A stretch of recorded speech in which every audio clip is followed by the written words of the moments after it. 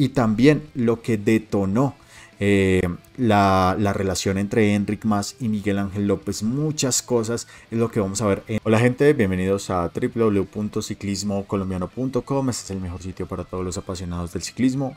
Yo soy Andrés Álvarez y les vengo a hablar pues del tema del día, y el tema del día significa Movistar Team. Entonces vamos a tocar varios temas importantes eh, el día de hoy sobre el equipo español porque hizo la presentación oficial de su plantilla y de todo su proyecto para este año 2022. Y pues bien, que hay algunas cosas importantes para hablar y lo primero a lo que nos vamos a referir es a lo de el día menos pensado, temporada número 3 como habíamos mencionado hace algunos días, efectivamente eh, el día de hoy se dio el tráiler el aviso oficial que va a haber tercera temporada de este documental, pues que ha traído muchísima tela para cortar a partir de su primera emisión todavía cuando Nairo Quintana se encontraba allí, pues porque este documental muestra las intimidades, el día a día detrás de bambalinas de un equipo de ciclismo en las eh, carreras más importantes, especialmente las de tres semanas. Entonces hablamos del Movistar Team y pues aquellos que han visto este documental pues saben a qué me refiero, que es bastante, bastante eh, entretenido realmente. Y también uno aprende de varias cosas en el día a día de lo que no se puede ver generalmente pues, en las noticias, en las etapas y demás. Entonces, eh, para aquellos que lo han visto, lo entienden. Para aquellos que todavía no, la recomendación es que se vayan a Netflix y busquen este documental que realmente, si les gusta el ciclismo, si están enamorándose de este deporte, si quieren saber un poco más, pues seguramente les va a gustar. Que vimos en este tráiler número 3, pues apenas si este se le adelanta, no me quiero imaginar cómo va a ser realmente el documental, porque lo primero que tenemos que decir es que se conocieron las palabras exactas con las que Miguel Ángel López dijo no va más en la vuelta a España. Lo dijo de una manera bastante particular. Entonces, eh, esa parte no se la pueden perder. Ya ahorita les vamos a presentar el tráiler. Entonces, para que, para que lo vean. También, ¿qué van a encontrar allí? Un poco de puya de, Chente, que es uno, de los, es uno de los directores deportivos del Movistar Team, contra Marc Soler por la caída que tuvo en el Giro de Italia que lo sacaría posteriormente al corredor español. Entonces allí también hubo como una tensa calma entre ellos y también una crítica de aquí y de allá. También veremos las expresiones de los compañeros de Miguel Ángel López en ese entonces cuando decidió bajarse de la competencia de la Vuelta a España 2021 me refiero y también lo que detonó eh, la, la, relación entre Enric Mas y Miguel Ángel López. Muchas cosas es lo que vamos a ver en este documental y precisamente acá está el trailer. Tienes que comer mierda para llegar a la gloria. Hoy te toca comer mierda. Es que ni el mejor de los guiones nos podían haber salido las cosas tan bien. Ella es la mejor del mundo. El efecto Van Bleuter que llamamos ha subido el nivel de todo el mundo. Yeah, it was unbelievable. Me cago en la hostia. Cuando te caes, cierras los ojos y ya la próxima vez que lo abres es cuando ya parado. Quiere seguir pero ve que no puede. Tuve que abandonar. ¿Que está muy jodido o qué? No puedo moverme, ¿eh? Per me era la sua testa che era partita. Yo pensaba que estaba mucho peor y debía allí, pues sí, un golpe. Esa gente que habla, que a veces se tendría que morder un poco la, la lengua. Creí que podía funcionar y que en la vuelta fue todo lo contrario. Porque el también está en una condición bárbara en esta vuelta. Fue cuando me quité el pinganillo. Ahí se rompió la armonía de grupo. Es que no hemos sido conscientes. Pidió explicaciones que por qué había hecho, pero... Entra Miguel Ángel López en meta.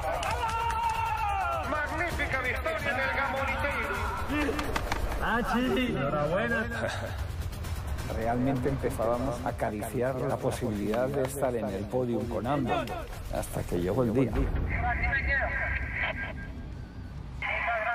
¿Cómo te va a bajar? Recapacita, termina. Se ha bajado, se ha bajado. Desmoralizado. ¿Sabes lo que negativamente te va a repercutir en tu imagen? Abandona la Vuelta Ciclista a España. Que le hubieran sobrado razones nunca hubiera sido una gran decisión. Yo quería salir a dar mi versión.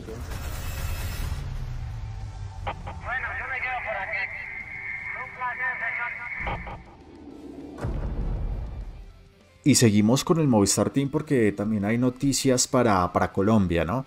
Entonces, eh, lo primero es que pues Iván Ramiro Sosa estuvo allí hablando precisamente en esta presentación, pues hay algo bastante, bastante importante para anunciar y es que Iván Ramiro Sosa va a ser una carta muy importante en el Movistar Team de cara al Giro de Italia, confirmado que Iván Ramiro Sosa, el hombre de Pasca, eh, Cundinamarca, pues va a estar en el Giro de Italia en la Corsa Rosa con Alejandro Valverde. Entonces este programa ya fue develado, estas intenciones por parte del equipo también fueron develadas.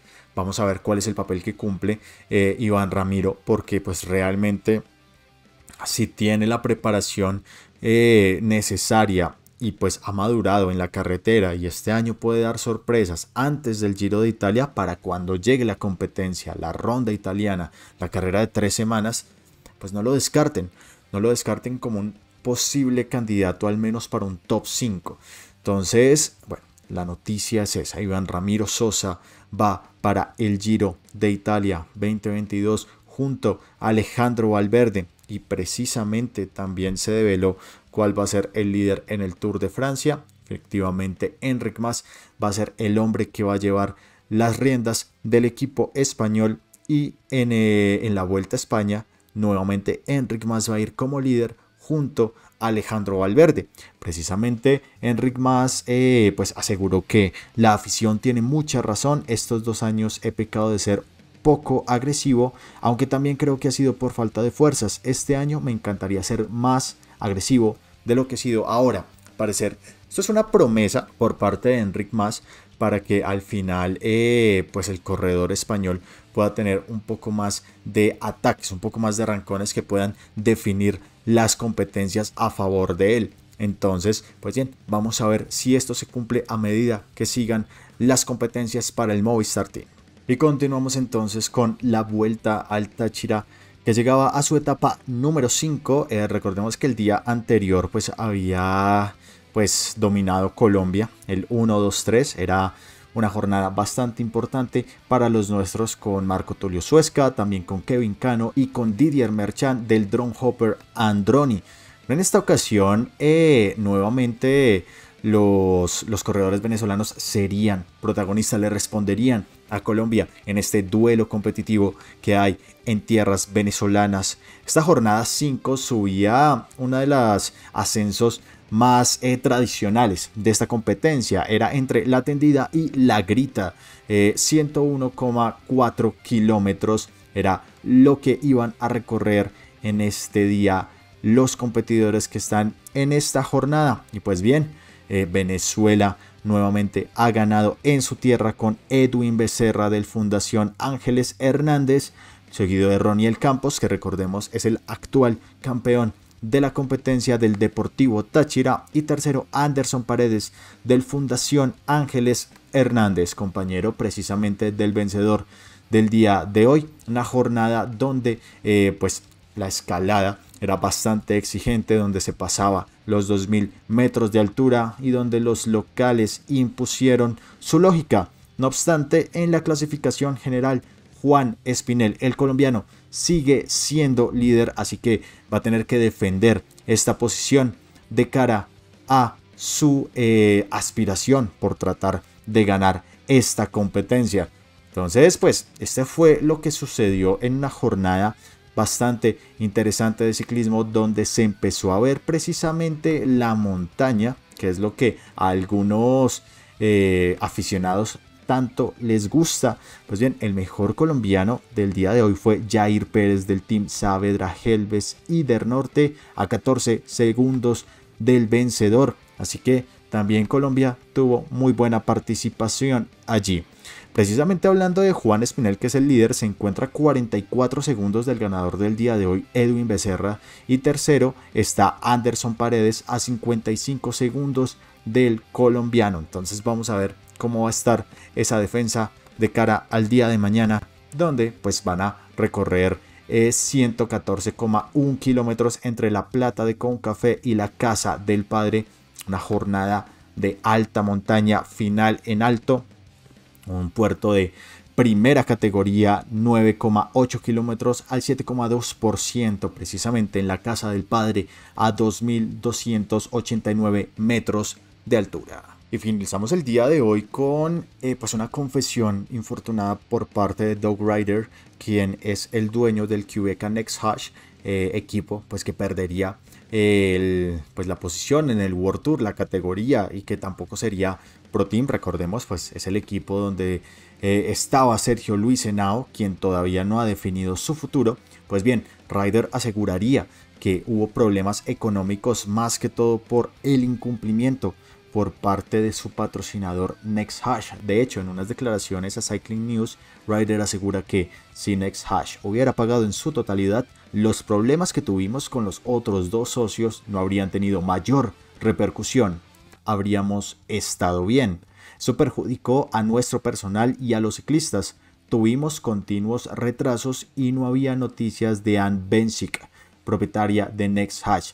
De esa manera, pues, eh, infortunadamente eh, la falta de cumplimiento, la falta de seriedad por parte de los patrocinadores de este equipo fue lo que condenó a, al QBK a perder esta categoría y a dejar a algunos pedalistas sin trabajo como se encuentra actualmente un colombiano que lleva muchas temporadas en Europa. Entonces, pues bien, encontramos finalmente explicación a lo que sucedió con el QBK Next Hash.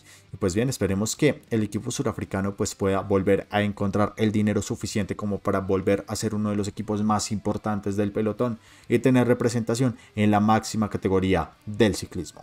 Y pues bien, recuerden que todas las noticias, contenidos, eh, curiosidades, análisis, opiniones y demás lo pueden encontrar en nuestro portal www.ciclismocolombiano.com. Yo soy Andrés Álvarez, seguiremos hablando del deporte más bonito del mundo, el ciclismo.